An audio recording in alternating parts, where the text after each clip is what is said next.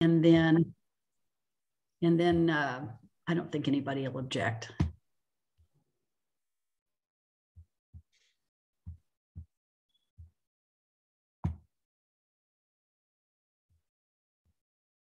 Hello and welcome everyone.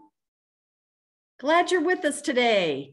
This is the, the series called Courageous Conversations Over Coffee, sponsored by the South Coast Interfaith Council.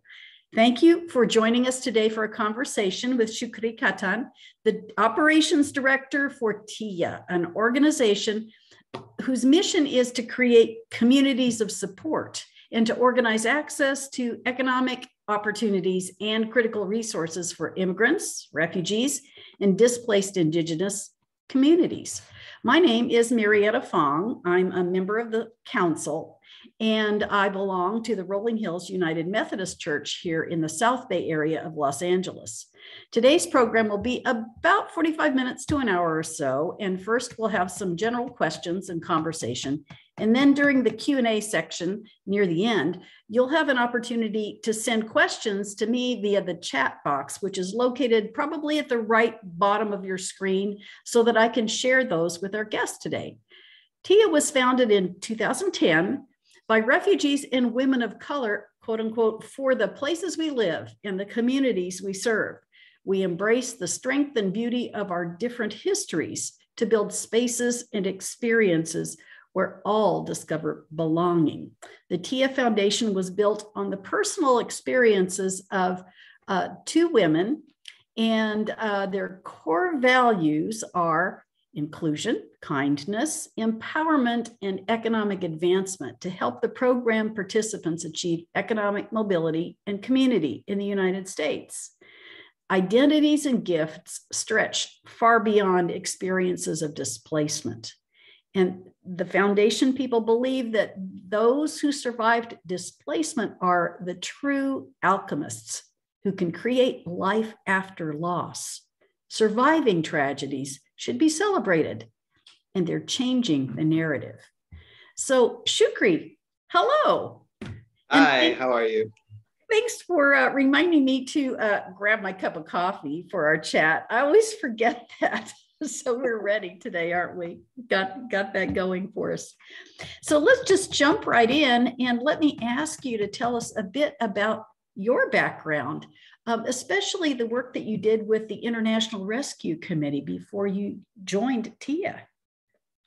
Sure. Um, first, thank you again for having me on. Uh, really excited to share our story and share the work of Tiyya with everybody um, today and with your audience. Um, so for myself, uh, my family um, experienced displacement and were refugees themselves, um, Palestinians back in 48 and uh, came to the United States in the 80s. And I was born here in the, in the US. And, uh, you know, just kind of seeing how they adapted to life in this country and the challenges they were going through. And then for myself, um, growing up kind of uh, in between two worlds, the world of my family and then the world of the US. Uh, being a bridge for them at times was uh, very difficult. So I over time wanted to do work that would help understand how to support others that kind of had a similar experience. So specifically refugees, um, since that's um, the experience my family had, and uh, and some still continue to this day um, experience that displacement. So um, uh, early in my career, I was um, fortunate enough to work as a case manager at the International Rescue Committee, uh, IRC, uh, at their office in Glendale. And uh, my role there was case manager. So I would be responsible for the first three months or 90 day period of resettlement um, for refugee families coming to LA or Orange County. Um, and this was in the early 2000s is when I first started this work. And uh, at that time, we were resettling a lot of families from Iran. Um, there were uh, religious minorities fleeing uh, the country. Uh, we would help them with family reunification. And uh, I was also working very heavily with the Iraqi community. So at that time, uh, we had a lot of uh, refugees fleeing Iraq after the, the occupation in the early 2000s. And um, I had worked with them and several other communities of, of uh, refugees that were coming into LA through the IRC. And um, yeah, I did that work for probably three years, a little over three years, and uh, learned a lot. I learned a lot about what it takes to help families resettle, um, what are the first steps that they need to take in order to get their paperwork in line, registering their kids for school, finding them employment. Um, it's just, it's a lot and it's condensed in a short amount of time and then you're on to the next family. And I had maybe um, up to 40 cases a month that I was working on at that time. Oh my goodness. I have to ask another question. If you had 40 cases a month that you were working on personally, was there a group of people that were supporting each one of those families at that time? No. at that time, I think there was maybe five of us who were case managers, and each of us had an equal caseload. And uh, it was up to us. And we had only one other staff member that was responsible for finding employment for all of our families. So she, she was maybe the hardest working one. I have a comment in the chat. Wow. And I echo that. Oh my goodness. Oh, well, so how tell us more about Tiyya and how it got started. How did that get started? Who was involved in that and why? So Tiyya was founded by um, Meymuna, who's also my wife, and her uh, mother, Olia. And they themselves are refugees, um, Ethiopian refugees. They came in the 80s. Um, her, or Meymuna's family, her parents met um, in a refugee camp in Somalia. Uh, that's where they got married. That's where Meymuna was born. Um, and this was in the early 70s, early 80s, um, around the time of you know civil conflict in Ethiopia. And they were resettled by the IRC, coincidentally, uh, to San Diego and um, lived in Orange County. They moved to Orange County for different opportunities. And Meymuna and her mother were always kind of involved in supporting uh, new families coming from East Africa specifically. Meymuna's mom was um, assisting resettlement agencies with interpreting. So specifically people coming from Somalia or coming from Ethiopia, she would help. Um, but through that work of interpreting, she saw a lot of families and how they needed a lot of support. Um, one was physical support, so basic items that were lacking in their households, like beds, fridges, um, dishes. Um, so she would come back and bring those items to them. Um, and then over time, you know, she would just visit the family just to see how they were doing, um, have a cup of coffee, and just building a community. And uh, would invite her um, daughter, Meymuna, along with her to do this work. And that was probably uh, throughout the 90s uh, that they did this grassroots work. Um, but then in 2000, as Meymuna got older, she saw that this work could actually grow into something more institutional, into a nonprofit. And um, she actually studied this as part of her master's degree on how to create this grassroots work into an actual physical nonprofit. And in 2010, um, she started Tiyya with her mom as a 501c3. And uh, Tiyya uh, means my love in the Oromo language, one of the languages of Ethiopia. So is their way of giving back, um, showing love for specifically at that time refugee communities by helping them navigate a system that they themselves had to deal with on their own. And so kind of showing them how you become successful here, how do you build community, how do you help your your kids, because Meymuna herself grew up here as a child of refugee parents, a refugee herself. So she knew um, what that experience was like and really wanted to create programs to help um, the family as a whole, but also specifically for those kids. Wow. Talk about paying it forward, paying it back. Um, that is just such an amazing story. Uh, and let me ask you another question that's sort of on the side, but did it make a big difference once they attained the nonprofit status? Did that open up um, other resources to them that they didn't have otherwise? Yes, absolutely. I mean, as a nonprofit, you're able to accept more donations. Um, there's grant opportunities, sponsorship opportunities. So um, an increase in funds meant we could do more programs, we could help more families. Um, and take on more um, more issues and um, and uh, needs that we were seeing families um, encountering. So definitely the funding pools were opened up for us as a 501c3.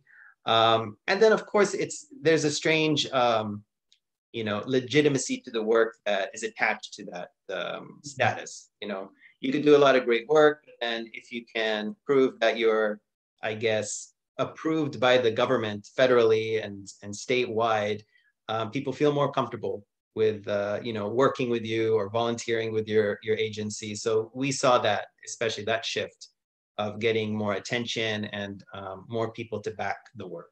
Well, I know it adds a bit of a burden as far as reporting and some things like that, but it sounds oh, like yeah. it can really be beneficial. Um, okay, so tell us a little bit something else about um, your involvement with Tiyya. How did you get connected and, and involved? So it's actually a bit of a love story. Um, when I was uh, working at the IRC, I had a case of a family of 10. Uh, it was actually two families, total 10 individuals uh, coming from Iraq. And uh, as a case manager, my role is also to, to greet the family at the airport and then provide them transportation to their um, home or their apartment um, that night or that day. So um, at that time, I only had like a Honda Civic. So there was no way I was going to fit 10 people and all their luggage in my car. So I naturally had to look for support. And at that time, um, I was trying to see what organizations were in Orange County, because that's where the family was to be resettled. And I came across a few, but uh, it was Tiyya, or actually Meymuna, that uh, followed up with me very quickly and said that she and her mother could come out that day. The family arrived with their van and transport families down to Orange County. So um, that's kind of how I first met them. And then at the airport, I was able to meet Olia and Meymuna in person. Um, and we were able to help the family. But in the mix of all that, uh, you know, got really close to Meymuna, saw what an amazing woman she was and is. And so uh, it was funny because as a case manager, I am supposed to go the following day to do a home visit. Uh, but I also use it as an excuse to see Meymuna in Orange County. So when I was down there, we had our first lunch meeting. She thought it was a professional meeting, um, but it was more of like a date. And then seven months later, I proposed and we were married. And so ever since then, I've just been involved in her work and supporting the organization um, as much as possible. But more recently, uh, in 2020, actually, in 2020, uh, I joined officially as a staff member as director of operations. Mm, okay. Well, you never know what's around the next corner, right? Yeah. And, and, and, you ought, always ought to be uh, looking for, I guess, things that are coming around the next corner that are wonderful, positive potentials that you should take advantage of, right? Yes. yeah, yeah. Oh, that's great. Well, thank you for sharing that. Now, uh, where is Tiyya actually located and the programs? Are they all in one spot? Tell us about that. Uh, so our main office is in Santa Ana. So we have a physical address there. Uh, we host some workshops and definitely like registration takes place there with new families. Our case manager is um, based there and does a lot of his work. Um, most of our programs still are a bit virtual and in public areas. So we, we tend to host in parks, community centers, um, or through Zoom, uh, especially with our career placement work. A lot of those one-to-one uh, mm-hmm. meetings are done either over the phone or, or online. Um, but we also uh, have a presence in Los Angeles. Uh, we've been building our work here. Uh, specifically, we have our social enterprise in LA. Uh, the restaurant for Flavors from Afar is located in Little Ethiopia. Um, we don't have an office for Tiyya yet, but we're working on it. And we're hoping to open something um, as soon as early next year. Oh, that's fantastic. Well, we certainly wish you well with that. And who knows, maybe there'll be some collaborations and resources that will evolve from this meeting today. That'd be um, great. yeah. So you really serve people in the, the Orange County area, the LA area. That's a really broad spectrum. Yes. Uh, the majority of our families are in Orange County because um, okay. that's where the work initially started. So I would say 80% of the households that we serve are in OC, um, but we are seeing a growing number in LA, especially with a lot of asylees coming in and um, new refugee families that have arrived from Afghanistan. Um, we've seen an uptick in registration in LA County. Um, so we're just trying to accommodate that. But yeah, uh, most of it is in OC, but we're trying to spread a bit further now. Okay. Um, so I see that from the website that Tiyya concentrates their programs in four different areas called cohorts. So tell us what these are and why you do this. So we wanted to address um, the most important needs that we saw in our families. And um, breaking them up into cohorts, we wanted to try and enroll smaller groups of people together to work in programs that would serve them. So not only to provide the service, but also for them to build community. Um, we have now, I believe, 214 active households, which is over 700 individuals. So we wanted to find a way to really serve each person, each family um, efficiently by condensing it down to cohorts. So cohorts gives us an opportunity to work with people in groups across the year and give them the attention that they need. Um, before, previously, when we had kind of like larger, broader programming, um, we felt we were just service based. We were just kind of providing items, providing support very generally and broadly, and not really connecting with the families anymore, uh, which is what we were founded on, was that that interpersonal relationship was more important to us. And when we were starting to lose it, um, we shifted into this cohort system. Mm. And um, we focus on women and mothers as one. The second group is children and young adults. And the third is um, economic uh, advancement. So everyone that's specifically focused to find work. And the last is community, which incorporates the families we work with with the larger, broader community of volunteers and supporters and donors together. And under each cohort, there's different programs that we have that address the needs of each of those groups. Okay, so tell us about some of those programs, please. Um, so with women and mothers, I think that one is one of our most active. Uh, we have one program in particular called Tea and Tots.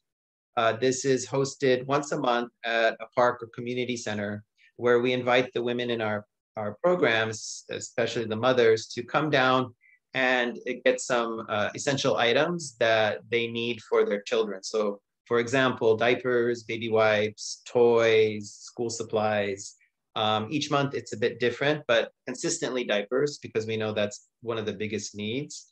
And um, by inviting them to these public places, uh, we're also providing um, a space for the mothers to kind of relax and have their kids join them, uh, usually the younger children, ages um, seven and under. And we'll host activities for the kids, so the tots, uh, we we have like arts and crafts and soccer that they engage in with our volunteers, and then the women have tea, and uh, sit and have some like snacks, and our volunteers engage them as well. And sometimes we will provide um, information, uh, especially around health, uh, women's health, um, different resources that we feel the the mothers could benefit from, and give them that time and space to just be amongst themselves. And and that's what we do. I mean it's pretty much just a, a way for everyone to connect with each other and still be receiving a service. Because previously you know we would just deliver diapers or people would pick them up at our office. And again it started to feel very transactional and we weren't connecting. So this was our way of bringing that back that connection and especially after the pandemic i think people were very um, hungry for that um, you know opportunity to connect in person again and uh, again, like I said, we, we host it once a month. And uh, right now, primarily it's in Orange County. So that's one program, uh, I think, just to kind of highlight. Uh, the other, I would say, is the economic advancement cohort. Um, we have two programs there that are very active. Uh, one is career placement. So we have a career placement specialist, her name is Mira, who works with um, all the individuals in that specific cohort to find gainful employment Um, so we're really looking at good jobs with good pay, good benefits. Um, we don't want to employ them in uh, in jobs that treat them poorly or um, you know uh, mistreat them. You know, because we see that too. Uh, we want to find them places where they feel safe and that they can actually grow.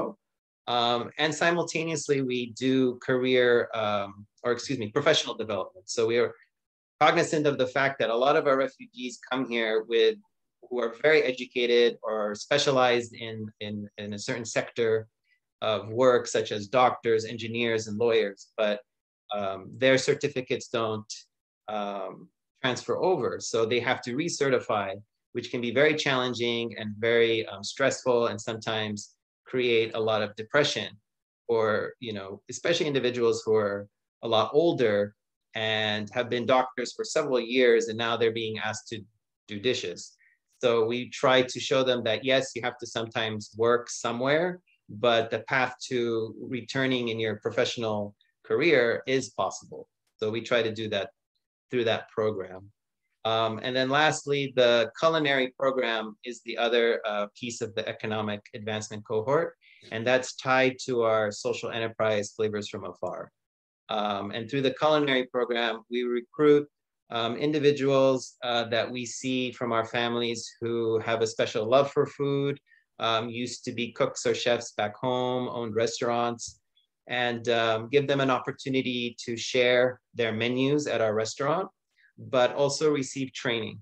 So through through that like initial work that they do with presenting their cuisine, um, we have a program instructor who will work with them to understand their menu, but then also provide them um, culinary training on how to present their food in a different way, how to look at their food as something they could market on their own.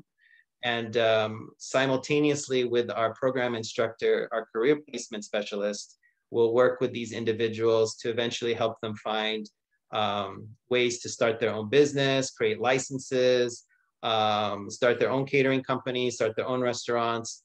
Uh, so that's that's another step where if there are individuals who are very keen to become part of the culinary world, uh, we help them get there. Oh, that sounds fantastic. I did put the link to Flavors from Afar in the chat box. So I'm encouraging everybody who's on this call to check that out. Go down there and, and have dinner at least, or find out more about it. So um, that how in the world did you come up with that idea? That is fantastic. Um, it actually came from our community. Um, it was at a time when Tiyya was going through some financial hardships. Um, I would say uh, 2018, 2019, we struggled uh, financially due to changes in you know the government and um, financial pools of um, support that we had relied on um, were drying up because under the Trump administration, we saw refugee resettlement pretty much drop to zero, which meant so did the funding. And uh, as a result, we lost a lot of our resources. We were down to one staff member at one point. So it was a really tough time. And uh, I know Meymuna was even considering closing the doors. Mm-hmm. Um, but the families really stood up and said, you know, we want these programs. What do you need? How can we help? And uh, through conversations with various people, they pretty much presented the idea of, you know, you have tons of people in your community who cook amazing food from across the world and are actually cooking and selling their food on the side uh, to like local neighbors and family members. Um, why not use and harness this talent and have it be a way to support the org? Um, so that's what we did. We started by um, hosting auditions for about, I think, 12, 15 people uh, from the community to be our first um, caterers. Um, so at the beginning, Flavors from Afar was a catering company. And uh, we hired uh, five, I believe five or six of the, the 12, and each of them presented a different cuisine. So we had Somali food, uh, Afghan food, uh, Syrian food, Iraqi food and uh, and we're just kind of giving these cooks opportunities to do jobs around Orange County and LA, and uh, over time, it started to really like catch. People were interested, and Meymuna got an opportunity to open up the restaurant uh, in in uh, in Little Ethiopia. So at that point, we saw flavors as um, as an opportunity to raise funds, and then eventually, as we grow, um, and you know, restaurant industry, it it takes time to really get on its feet. Um, we opened during the stay-at-home orders, so very bad timing, especially for a restaurant. But uh, we're still here and doing very well. And uh, once profit begins to grow, 40% of that will go back to um, programming at Tiyya. So that way we constantly have financial strength and support for ourselves. So becoming more self-sufficient. That's great. And it's so good to know that A, you survived, and B, that the profits are coming in and things can only get better, right? I yes, know it's a so. tremendously challenging business to be in, even with if you're just uh, doing it for other reasons. But oh gosh, congratulations on that. Thank you. Um, I'm going to ask you another question, and that's about one of your specific programs that you talked about the career placement including the entry level jobs opportunities that that are there. So can you give us some examples of some kinds of jobs that people have been able to find? And here's a big question. Do they all require some level of proficiency in like english or spanish? And are there any that don't require language proficiency um, or literacy? Hmm. um, we try to look for um, opportunities that our um, families can apply for whether they are english proficient or not so there is there's a few jobs so for example um, we've done a lot of work with helping um, folks get jobs as security, security guards. That's a pretty, you know, um, good profession for those who have limited English. Um, they don't have to be very proficient, um, but know enough to kind of communicate. Um, and then we do find jobs in different restaurants. We sometimes hire them at Flavors to work. So, you know, the restaurant industry, especially working as a dishwasher or um, doing the janitorial work doesn't require much English proficiency at all. So they're able to start. Um, we have a lot of uh, relationships with different employers. So um, construction industry is a big one. We actually are able to place a lot of people with apprenticeships first, and then they are eventually transitioned to doing work. Um, the ones that do require English, uh, we have relationships with software um, companies that are always looking for people um, to work at their industries. And, you know, there's sometimes like low, uh, low um, uh, entry level positions. So they don't require too much background, but at least some understanding of tech. Um, and then we found jobs through the medical industry as well. Uh, we have some contacts there for our clients who are looking to recertify as nurses or doctors. So they have internship opportunities where they're learning the trade and getting experience as they're also pursuing their um, degree so they can work again in the medical uh, field. Um, but you know, it's always growing. Uh, again, we have a, a fantastic career placement specialist. Mira's looking for um, new opportunities, developing relationships with new employers every day. I'm always trying to keep up with her. So uh, I think she's doing a great job. And you know, we we're a bit lucky because at this time uh, there's there is a lot more um, job opportunities available. Um, because for whatever reasons, a lot of people aren't going back to work. So there's been job opportunities that we've been just jumping into and developing these relationships with employers with the understanding that they're hiring refugees. And I think they're more inclined to do that because either want to give back, they want to support, they want to help in some way.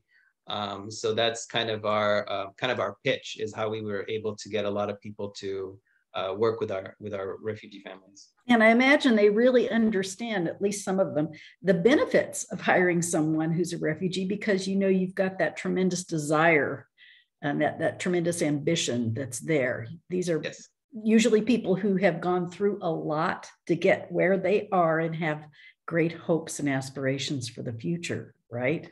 Yes. Yeah, yeah. Um, there's a question that's come up and it says Does Tiyya offer language support? Mm. In other words, translators, uh, interpreters, I mean, and um, language lessons, ESL classes, anything like that, or connections to those resources? Yes, we do. So we have another program uh, that's directed towards the women. It's called um, Coffee and Conversation, and that's about building English vocabulary and um, conversational skills with a group of people. We have an ESL instructor that meets with them once a month and pretty much just helps them to speak and learn the language. Um, we also do volunteer mentoring, and a lot of our mentors will establish one-to-one relationships with families and also incorporate um, English lessons. So really helping them to speak um, is our priority. Uh, there's various resources at community colleges where you could learn uh, English at a more academic level, so like the grammar and spelling. So we feel that's already um, available. But to speak, um, it's it's harder. So we try to provide that as a service, and specifically for the women, because we see that many of the mothers tend to stay home. They stay with the family, they stay with the kids, so they're not using the language and they're not really practicing. So we want to make sure that they're learning as well as everyone else in the family. Um, but we also uh, provide interpreting services in-house. So we have a case manager from Afghanistan who speaks Pashto, Dari, and Farsi. We have people who speak Arabic, um, Somali, Swahili, French, Spanish. So we have different people on our team who are able to interpret and provide translation support. So those are actual permanent staff, so to speak. Mm-hmm. Yeah, either staff or board members who step in. Okay, so staff or volunteers in, mm-hmm. in, in both of those areas. And I assume you, for people who need that formal education and want to take those community college classes and so forth, you probably connect them with the ways to, to, to find those resources, right? Help them enroll and Yes, absolutely. Yeah, we have relationships with a few of the local community colleges and specifically Irvine and Anaheim. Mm-hmm. And we'll develop like either referral systems or provide the resources to our families. Mm-hmm. Okay, that's wonderful. Um, so let's see, what are, let's ask about the challenges. I mean, we, we can imagine funding challenges and things like that, but what are some of the, the major challenges that you have and maybe some of the ways that you find that you haven't already already described of meeting those challenges in creative and in innovative ways? Um, one of the biggest challenges that we've seen right now is housing. Um, many of our new families are struggling to find affordable housing. Um, there's been an influx of Afghan families that are now or were staying in motels um, because of the delay in finding um, proper units for their families to stay in. And there's various reasons for that, of the, the difficulties and challenges um, resettlement agencies have had with uh, finding apartments.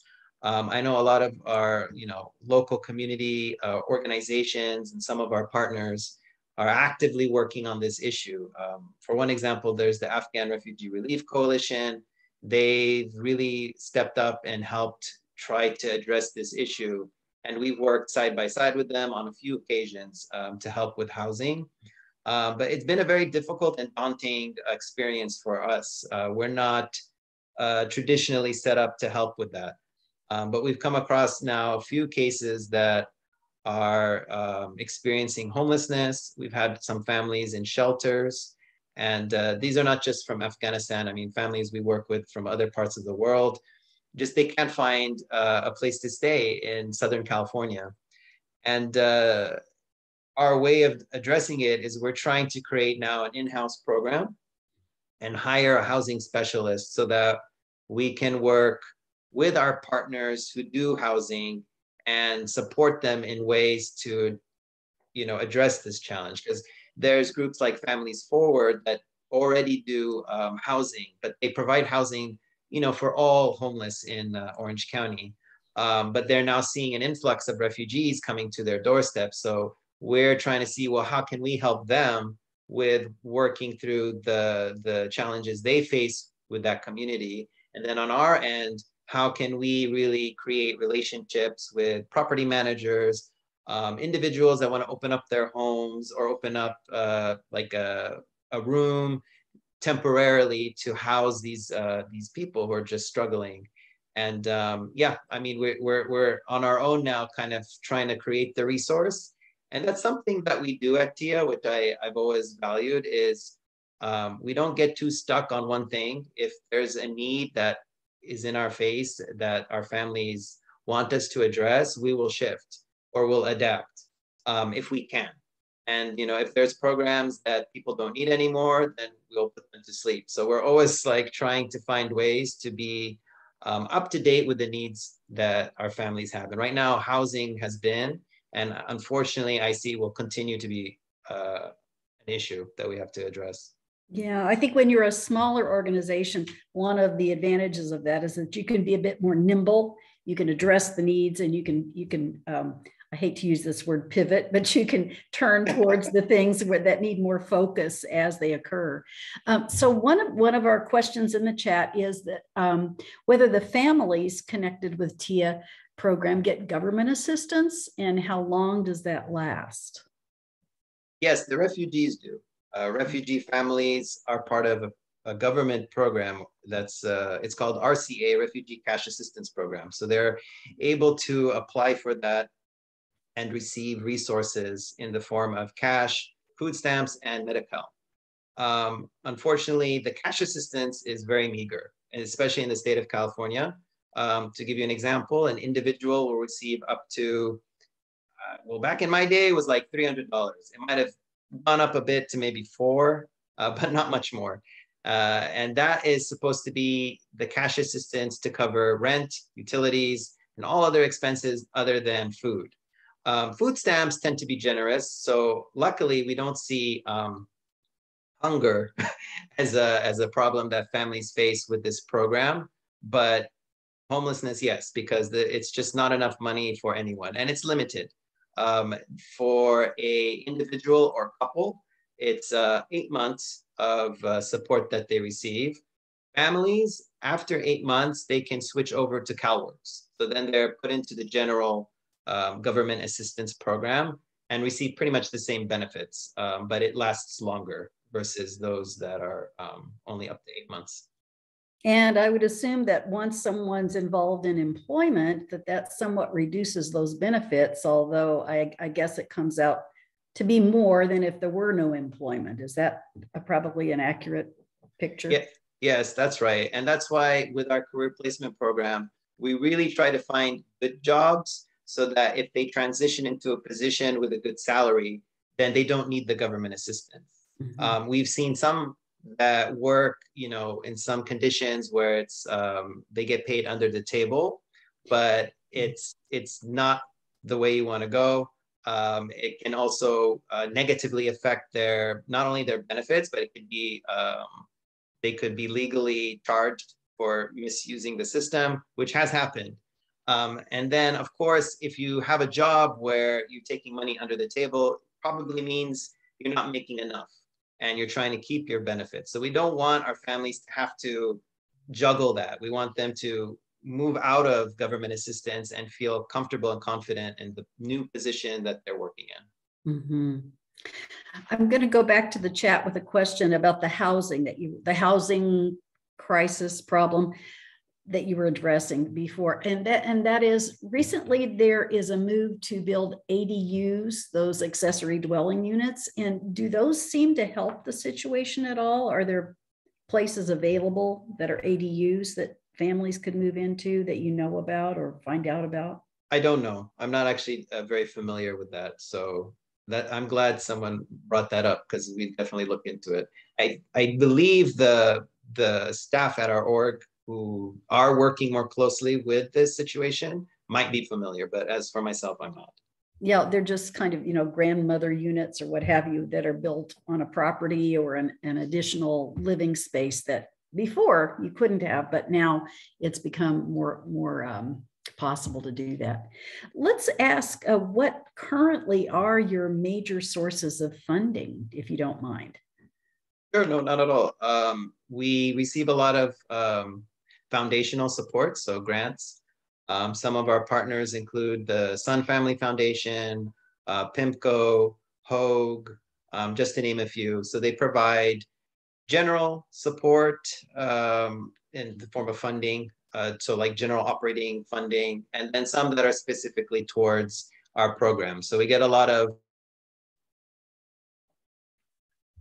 Uh-oh. directed, um, or excuse me, restricted funding for like everything okay? Yeah, you're back on. It was frozen for a second. Oh, it was frozen. Okay, sorry. um, we get restricted funds that go specifically to programs. So like our economic advancement, there's earmarked funding for that so that we ensure we have a staff member and the program continues on.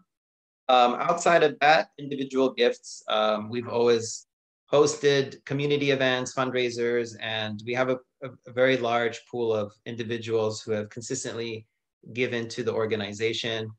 Um, and then, of course, once it's ready, the social enterprise will be the next source of funding that we're looking to. Um, we don't do government contracts anymore. Uh, we went through that experience and are done with it. So that's why uh, we're shifting our focus towards community, towards different family foundations, and um, and then the social enterprise eventually. Is is that focus more in the Orange County area, or do you have some good connections and resources in Los Angeles as well at this point? Primarily, it's in Orange County, especially with the foundations, but um, we're breaking ground slowly in LA. Um, LA is very different political beast. So we're just trying to understand how to kind of get into that network and build partnerships with foundations. Um, there's a few who are interested. So that's why we're, we're looking to next year to start our office in LA once we have um, secured uh, some funds. Yeah, partnerships, collaborations with funding donor sources and so forth, and other organizations where you can share resources and help each other. That's just the best, isn't it? Mm-hmm. Yeah. yeah, absolutely. Yeah. Now, here's a question Are there volunteer opportunities at Tiyya? Yes, absolutely. So there's um, two forms there's the community volunteer, and then there's the mentor. Um, as a mentor, that's where you get a one-to-one experience with a family or an individual.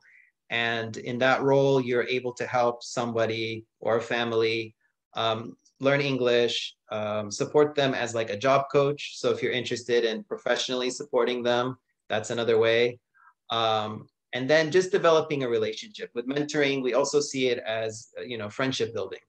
So you're kind of going in consistently to see if there's questions the family has, um, if there's resources that can be provided um, to just kind of be there to immediately address needs when possible. And then if it's out of the scope of the mentor, our case manager steps in. So there's always um, like a supervisional um, component to it where mentors aren't just thrown into a household and left to be. Uh, we are trying our best now to have case management as part of that experience so that we're looking at the experience of the volunteer and the family. Um, for community-based volunteering, that's where we invite people to come to like tea and tots um, to volunteer for one day, but either hosting activities, um, working or speaking with our families about different resources or information. Um, and that is again where where we have that opportunity and eventually, when we bring back soccer, we'll be looking for volunteers there to, you know, as soccer coaches or um, helping kids on the field. So those those are what we have right now. Tell, tell us again about that soccer program. I don't remember if we talked about that. What is that? So we um, Tiyya really started with soccer. Uh, one of the first programs was soccer directed towards youth.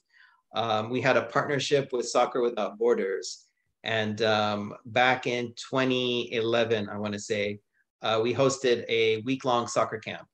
And we thought maybe like 20, 30 kids would show up. Uh, we had 66. So there was definitely a need. Uh, there was a desire from the families and the kids to get involved in soccer. So that program really developed and grew over the years to become a, a weekly uh, curriculum uh, and then to the point where we almost had like formed a TS soccer group that was competing with like AYSO and other teams. So we were really like advanced in our in our program. But then you know the pandemic hit and we had to stop uh, soccer for for quite some time.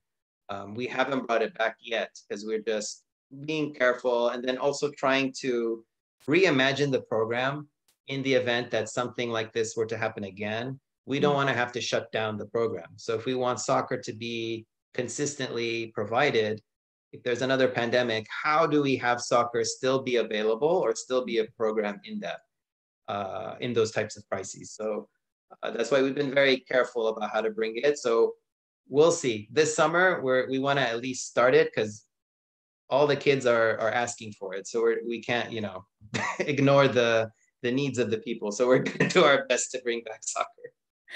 Sometimes circumstances cause us to be really creative and and and uh, innovative in, in how we respond to these things. Yeah. A couple of other good questions in the chat. One is uh, about the, the um, things like Tea for Tots and some of the other programs where people need transportation. Uh, Nancy asks, in gathering the cohort groups, such as the mothers and children, how do you handle the transportation challenge and finding the space to meet? That's an excellent question. It's uh, it's actually a, a a, um, a problem that we face all the time. Um, transportation, we are very creative.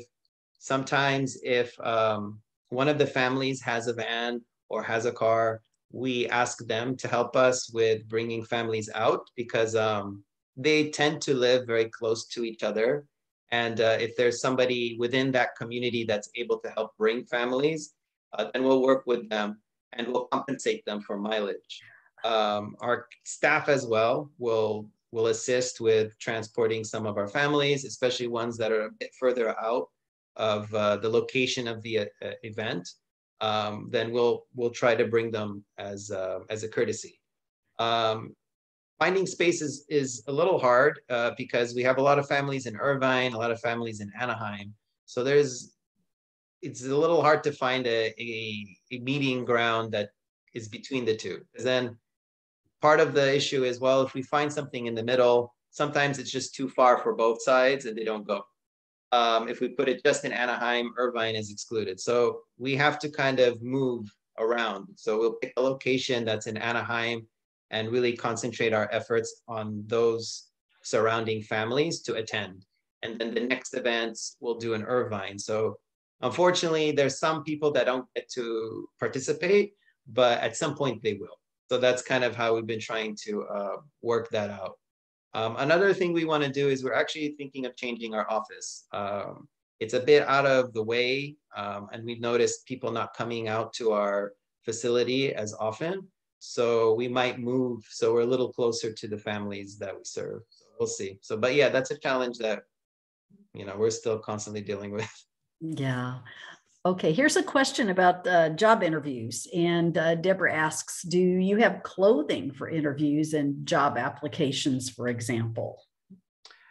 Um, yes, we have a partnership with a group. I cannot think of their name right now, which is horrible. But there is a group uh, that does provide clothing, uh, professional clothing to our families. So um, we don't do it, but we work with others who, who do provide that. So, yes, um, for interviews and jobs. Um, we we try to get them connected so they have a nice suit or nice dress to go into interviews for.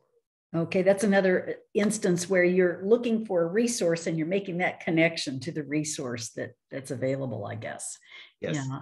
Um, so uh, you did you say that you have about 215 families actively involved right now? Yes, about 215, 214, yeah.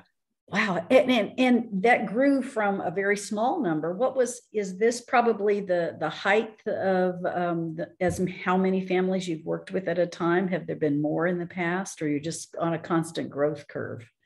No, there's been more. At our height, we were at 336. Mm. Um, this was, you know, prior to COVID um, and prior to funding cuts. Um, we were a lot larger and had a, a, bit more resources to handle more families. Um, after the pandemic, it shrank down to about 150, I would say. Um, and then it's now growing again. But we're we're trying to be mindful about the numbers where we don't want to take on too many and then not provide uh, adequate services. We'd rather have a a manageable amount of families we work with and and do the best we can to really help them so that's something that's an in-house conversation right now is where do we cap it we don't want to because we feel we don't want to turn anyone away, but at the same time, we don't want to provide um, you know inadequate services to them. So that's it's it's a conversation. Yeah. Now, um, there's a specific question about one group of people, and that is um, Nancy is is part of a group that's helping Afghan families, and she's asking if, if you know of an enclave of Afghan families living close to each other in either in Orange County or in Los Angeles. Yes, there is, um, but I'm not 100% sure where anymore. It changes and it changes based on where um, housing is available. So there's been um, larger groups growing in Anaheim, specifically by, uh, geez, I want to say, um, I can't think of it right now, but there, there's a part of Anaheim where a lot of families tend to congregate in these different apartment units where there's a lot of you know, access. The property managers there are already familiar with refugee families, so they're able to get in a lot faster. Um, so specifically Anaheim.